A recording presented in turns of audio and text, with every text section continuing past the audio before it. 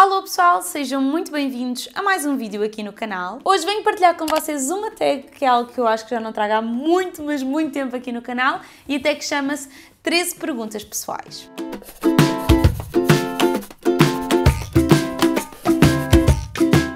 Antes de começarmos este vídeo, queria desde já agradecer muito à Sofia Arruda por me ter nomeado para esta tag. Foi sem dúvida uma surpresa para mim, porque eu sempre segui o, o trabalho da Sofia, até mesmo quando ela estava no Super Pai. Houve uma vez que nos cruzámos aqui num restaurante na Margem Sul e eu fui-lhe pedir um autógrafo. Eu não sei se ela se vai lembrar disto, obviamente, mas eu sempre fui muito fã do trabalho dela e poder ser nomeada da forma carinhosa como ela me nomeou, eu fiquei mesmo muito, muito contente. Portanto, muito obrigada, Sofia, pelo teu carinho. E é claro, pessoal, se vocês gostam deste tipo de conteúdos aqui no canal, deixem desde já o vosso grande gosto, subscrevam ao canal se ainda não o fizeram para não perder nenhum conteúdo e, é claro, ativem as notificações para ficarem a par de todas as novidades. Eu já tenho aqui uma telemóvel com as perguntinhas desta tag e a primeira pergunta é o que é que você costuma pedir no Starbucks?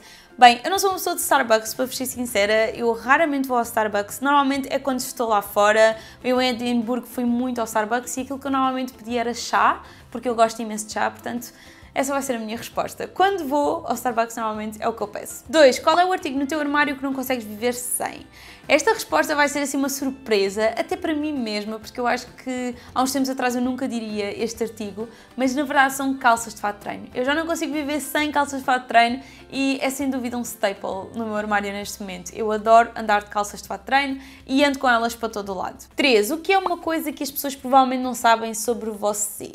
Posso-vos dizer que já tentei gravar esta pergunta para umas 5 ou 6 vezes seguidas, mas que não me ocorria nada, porque é muito difícil. Chega uma fase em que, sei lá, eu já partilhei tanta coisa com vocês que é difícil até para mim perceber o que é que eu nunca partilhei. Uh, mas uma das coisas que eu acho que nunca deixei assim bem assente em tudo aquilo que já discuti a nível de música com vocês é que eu sou grande fã de Years and Years e um dos meus objetivos este ano era ir vê-los ao vivo. Tanto eu como o Tomás adoramos Years and Years e sabemos as músicas de uma ponta à outra, todas elas de todos os álbuns, portanto, sim, aqui fica. É uma das coisas que provavelmente vocês não sabiam sobre mim. 4. Diga uma coisa que você quer fazer antes de morrer. Acho que assim aquela coisa que eu sempre me inclino para querer fazer e nunca fiz com medo uh, do que possa acontecer e também porque tenho muito medo de alturas é saltar de um avião. Era uma daquelas coisas que eu amava fazer, já tive até pessoas a convidarem-me para ir saltar de avião e eu nunca aceitei porque é um daqueles medos mesmo que me atormenta durante a noite. Não sei se vocês conseguem bem perceber, mas eu tenho imensas vertigens, uh, sou uma pessoa que respeito muito os meus pezinhos na terra e apesar de querer muito fazer e de ser uma coisa que eu acho que sem dúvida vou fazer antes de morrer, ainda não ganhei coragem. 5. Qual é a comida que você não consegue viver sem? Pizza. Esta é muito fácil. 6. Qual é a frase que rege a sua vida? A frase que rege a minha vida provavelmente vai ter de ser relacionada com o karma e de se nós plantarmos Sim, se nós plantarmos o bem, nós colhemos o bem também. Eu fiquei aqui um bocadinho confusa porque já uma vez troquei esta frase e não queria cometer esse erro novamente.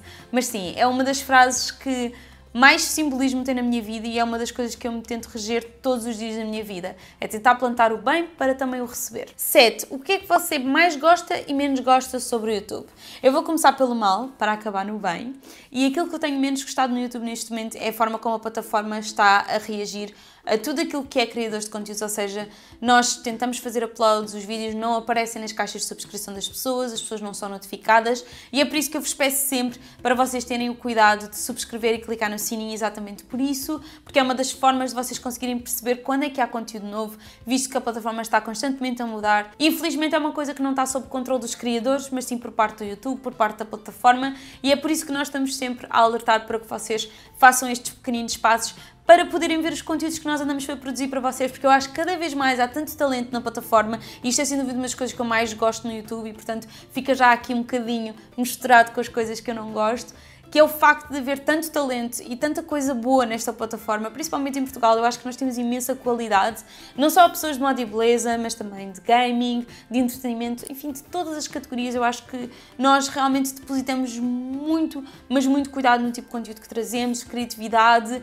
a forma como gostamos de mostrar as coisas. Portanto, eu acho que uma das melhores coisas é, é este rumo que a comunidade portuguesa está a ter, de nós cada vez mais termos o cuidado de trazer conteúdos cada vez melhores e mais profissionais para vocês. 8. Qual é a música que estás a curtir mais neste momento? Eu para aí há dois ou três dias que ando viciada numa música em específico, que é do Childish Gambino, que é o This Is America.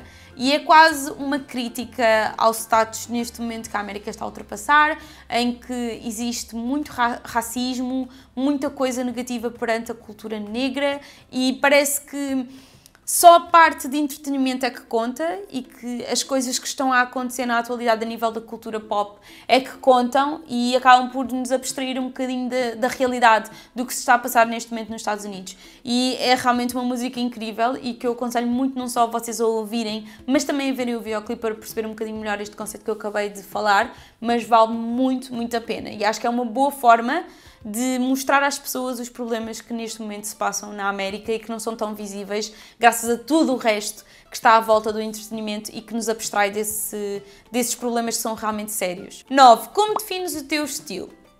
O meu estilo é algo que varia tanto que eu não tenho assim uma definição concreta para ele. Eu acho que gosto de experimentar todos os dias coisas novas, coisas diferentes. Gosto de ser fancy, como também gosto de ser super casual, ou utilizar umas jardineiras neste momento como estou a usar, e uma camisola às bolinhas. Portanto, eu não tenho assim nenhuma coisa que defina realmente o meu estilo, a não ser all over the place, porque eu gosto de estar all over the place e gosto de ser de tudo um bocadinho, na verdade. 10. Número favorito. Curiosamente, é o número 10. 11. Dois hobbies.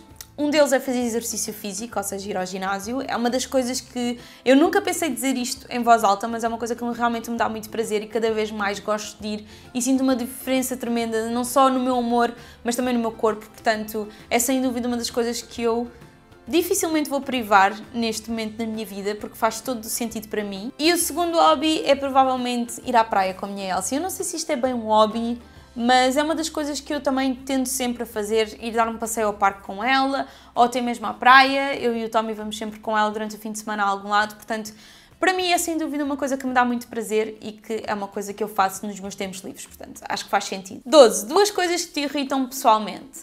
Bem, uma delas é o facto de eu conseguir ser organizada na minha desarrumação e eu acho que podia melhorar muito isso, porque eu sou uma pessoa que consigo ser muito, mas muito desarrumada quando quero, principalmente na zona onde trabalho, no meu estúdio. Uh, tenho maquilhagem espalhada, tenho caixas, tenho computador, cabos, tudo por todo lado e portanto era uma coisa que eu gostava realmente de melhorar em mim porque se eu arrumar um dia eu arrumo tudo certinho, mas é bem provável que passado dois dias esteja tudo outra vez o caos e eu consigo me organizar assim, se bem que eu gostava de ser uma pessoa que me conseguia organizar no meio da organização em vez da desarrumação, portanto é uma coisa que me irrita. Uma coisa que eu acho que nunca partilhei mesmo com vocês relativamente a este tipo de coisas que me irritam é o facto das pessoas adormecerem ao pé de mim e eu estar a sentir a respiração da pessoa na minha cara. Sério, vocês não têm bem noção. Eu acho que desde miúda que eu sinto isso relativamente aos outros, quando os outros estão a dormir ao pé de mim ou estão muito próximos de mim, então parece que estão quase a retirar o meu próprio ar que eu estou a respirar. É super estranho, mas provavelmente se vocês já passaram por essa situação, vocês percebem aquilo que eu estou a dizer mas é uma das coisas que provavelmente mais me irrita. A nossa terceira e última questão é um prazer culposo, ou seja, o meu guilty pleasure. E um dos meus grandes guilty pleasures, e eu acho que também nunca partilhei isso com vocês, é que eu sou aquela pessoa que adoro ter a televisão ligada ou o computador ligado antes de ir dormir. Sério, eu tenho que adormecer a ver uma série, ou ver um filme, ou ver tipo um show que, nem, que eu nem sequer gosto. Eu tenho é que ter sempre alguma coisa ligada e sentir que estou a adormecer a ver alguma coisa. Sério, é um dos melhores prazeres que eu tenho na vida, porque me sabe mesmo bem adormecer a ver alguma coisa. Não sei bem explicar porquê, mas digam-me aí nos comentários abaixo se vocês são iguais e se sentem a mesma coisa. As duas pessoas que eu decidi taguear, eu não sei se já fizeram esta tag ou não, mas mas eu gostava muito de ver as vossas respostas, meninas, que é a Joana Gentil e a Mariana Gomes. São duas pessoas que eu adoro e que sem dúvida me têm inspirado muito aqui na comunidade e que eu realmente aprecio muito a criatividade e o trabalho delas. Portanto, eu vou deixar aqui na descrição abaixo para vocês poderem dar uma linha se ainda não conheceram os canais delas. E é claro, se vocês gostaram deste vídeo, deixem desde já o vosso grande gosto, subscrevam ao canal aí no botãozinho vermelho e é claro, não se esqueçam, ativem as notificações para estarem a par de todas as novidades. E por hoje é tudo, meus amores. Mais uma vez, espero que vocês tenham gostado deste vídeo e tenham um dia super iluminado. E é claro, vemo-nos no próximo vídeo. Beijinhos! Tchau!